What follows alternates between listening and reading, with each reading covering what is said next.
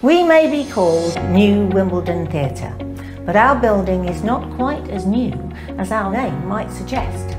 So fondly dubbed the Old Lady of the Broadway, our house has actually stood on this site for more than 100 years.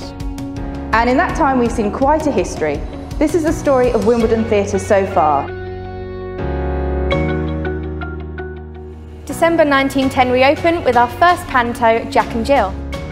March 1911, J.M. Barrie's Peter Pan gave local kids a thrill.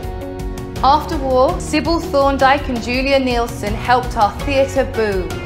But in 25, we lost our founder, J.B. Mulholland, far too soon. We had big names in the 30s with Ivor Novello and Gracie Fields. But after war returned, we thought austerity would have our fate sealed. In 55 new beginnings as Peter Haddon, our saviour, brings in rep. By 62, he'd done 350 shows and brought thousands up our steps.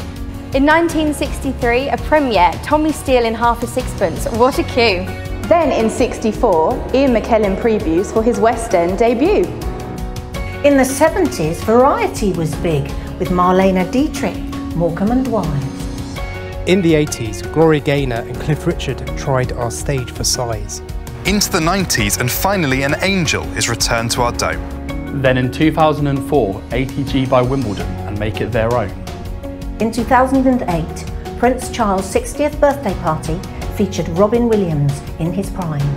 Then, in 2010, Peter Pan became our best-selling show of all time. These are our favourite moments, but we want to hear from you. What are your favourite memories of Wimbledon Theatre? Join the conversation on social media using hashtag OldWimbTheatre or email us at oldwimtheatre at theambassadors.com.